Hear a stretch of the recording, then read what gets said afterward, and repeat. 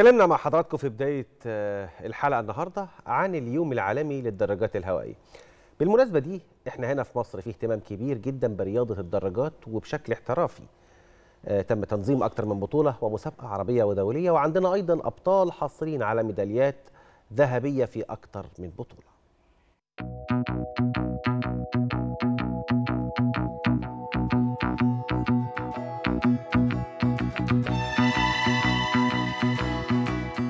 النهارده بيحتفل العالم باليوم العالمي للدراجة الهوائية واللي بيصادف 3 يونيو من كل عام.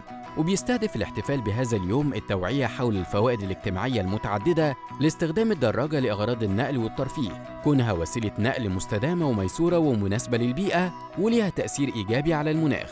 واعتمدت الأمم المتحدة هذا اليوم لتسليط الضوء على إمكانية تغيير الطريقة اللي بنتحرك بيها وبننتقل من خلالها مما يساعد على خلق مستقبل صحي آمن.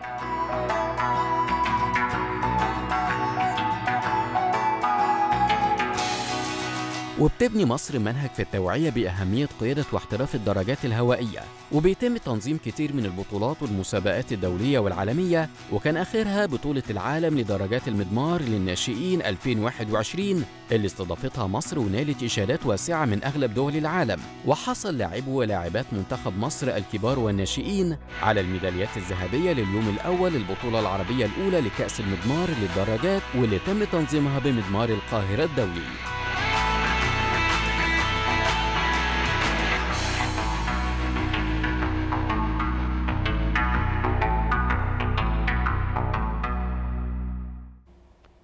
كابتن يوسف زكي لاعب منتخب مصر للدراجات الهوائية والحاصل أيضا على الميدالية الذهبية في بطولة العرب لدراجات المضمار. معانا على الهاتف. صباح الخير يا كابتن يوسف واهلا بحضرتك في صباح الخير يا مصر. صباح الفل لحضرتك أهلا بحضرتك. في اليوم العالمي للدراجات الهوائية إيه هي الرسالة اللي أنت عايز تقولها لكل المصريين والكل عاشق لقيادة الدراجات والكل محبين هذه الرياضة في العالم؟ طبعا دي رياضة جميلة جدا ان طبعا تستحق اللي يتعمل لها يوم عالمي. ودي وسيلة وسيلة كويسة وصديقة للبيئة طبعا. وحتى شفنا في فترة كوفيد 19 إن زادت من شعبية ركوب الدراجات فده طبعا يعني بيبين إن الاستثمار في البنية التحتية اللي بتدعم ركوب الدراجات دي هيسهم في مستقبل جيد وأمن للدراجه المصرية.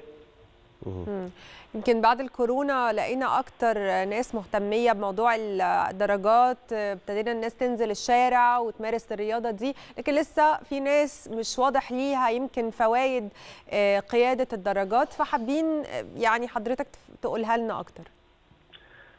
طبعا ليها فوائد كتير منها صحة القلب طبعا وصحة الأوعية الدموية ومنها بتنظم بتنظم ضغط الدم للجسم. وطبعا بتساعد الناس اللي كان نفسها بتنزل الوزن دي بتنقذ بتنقذ الوزن. ومنها برضو صحة الرئة يعني الإنسان اللي بيمارس من ثلاث لأربع ساعات في الأسبوع ركوب الدراجة يعني تكون كويسة لصحة الرئة عنده والصحة النفسية. الناس اللي عايز صحة نفسية ودي كويسة للياقة البدنية طبعا ليها فوائد كتيرة. صح. طب كابتن يوسف عايز أقول لك حاجة مهمة إن الدولة ربما عملت لوجيستكس كبيرة لقصة الدراجات الهوائية ولسه طبعاً بتعمل. يعني عملت. ممشى ولسه اعلى بتعمل. مصر وبتعمل ممشى دلوقتي المقاطع مخصصات يعني العاصمة الإدارية فيها أماكن الدائري في أماكن في حتت كتير فيها أماكن وكمان قسطت آه، آه، عجل. ولكن حتى الآن الثقافة ما انتشرتش بالشكل اللي يرضينا أنا بشكل شخصي مش هتكلم على الناس التانية. أيوه. العيب فين؟ يعني نقدر نقنع الناس إزاي؟ أو نقدر نخلي فعلا المصريين بالفعل يستخدموا الدراجات إن هو بالفعل يروح شغله ويرجع منها.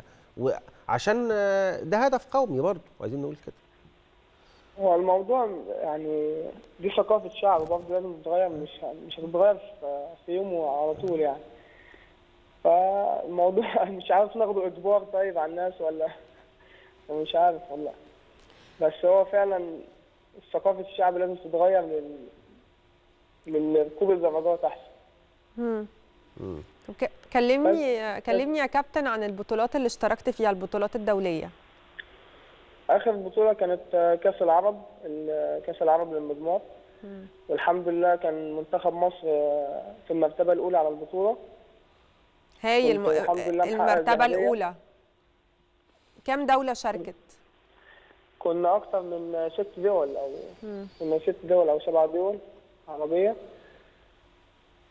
و بس كانت قبلها بطولة أفريقيا في شرم الشيخ للطريق مم. ده ل- لسنة 2022 تقدر تقول لي الدول العربية اللي شاركت كانت إيه؟ كانت منها ال- الجزائر والإمارات وكان منها ال- السودان وكان منها المغرب وكان منها مش عارف كان كان كذا دولة والله على ما أتذكر يعني السودان والمغرب والجزائر والإمارات. هايل هايل. طب هل يعني مصر أخذت منحنى تصاعدي في احتراف في احتراف اللعبة دي؟ يعني إحنا كنا فين من كام سنة؟ ودلوقتي إحنا فين؟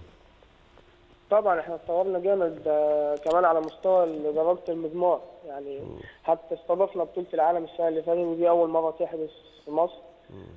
فطبعا إحنا وصلنا لمرحلة ثانية خالص. وبقينا نتأهل للأولمبياد.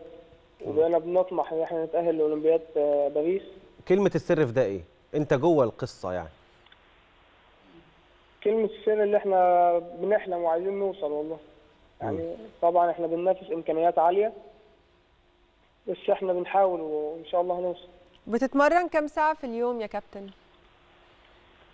لا طبعا. يعني هو ممكن تمرين فترة صباحية مثلا ممكن نوصل لست ثمان ساعات. أو بت... يعني بتركز على عضلات إيه تحديدا؟ هو في تخصصات يعني أنا تخصصي التحمل فالتحمل ده مثلا بيبقى تمرين فوق ال 120 كيلو 150 كيلو. ده إمتى؟ ده كل كل قد إيه؟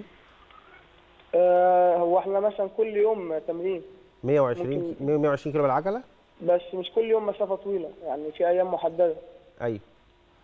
والتمرين ده يعني بيشمل أجزاء إيه من الجسم لو عايز تركز عليها كعضلات؟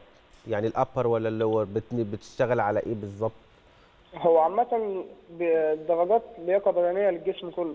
أيوه بس ده طبعا بينمي قوة التحمل في الجسم. مم. إن أنت بتقدر تستحمل آه، من خمس لست ساعات على الدراجة. بس تقدر بقى تنزل السباق تقدر تستحمل المجهود العالي اللي بيبقى في السباق. صحيح صحيح. شكرا لك كابتن. الكابتن يوسف زكي لاعب منتخب مصر للدراجات الهوائية الحاصل على الميدالية الذهبية ببطولة العرب لدراجات المضمار. شكرا لحضرتك.